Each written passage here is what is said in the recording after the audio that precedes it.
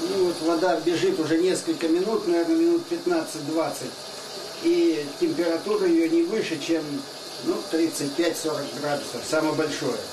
Теперь платить за такую условно горячую воду Владимиру Филатову не надо, как и многим другим горожанам, кто каждое лето сталкивается с аналогичной проблемой. С 1 июня ЖЭКи обязаны делать перерасчет, только вот как это будет происходить, объяснять жильцам коммунальщики не торопятся. Наши специалисты э, вот и я имею в виду из управляющей жилищной компании, нашим э, жильцам, которые к ним обращались, конкретно ничего не разъяснили и ничего не сказали. Никто конкретно механизма перерасчета из нас не знает.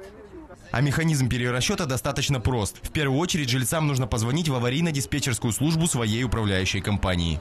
В течение двух часов они должны либо устранить непорядок, и оказать услугу надлежащего качества, либо приехать и составить сами акт.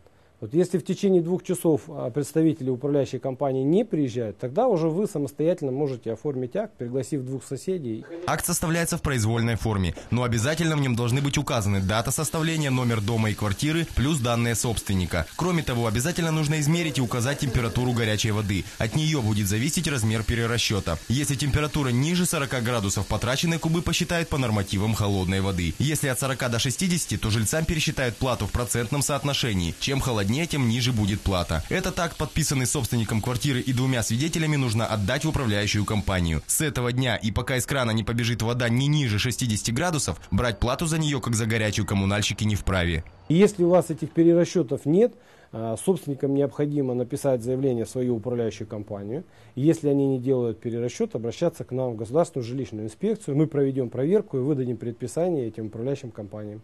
Теоретически все просто. Как это будет работать на практике и будет ли, станет известно уже в начале июля, как только горожане получат первые расчетки после вступления закона в силу.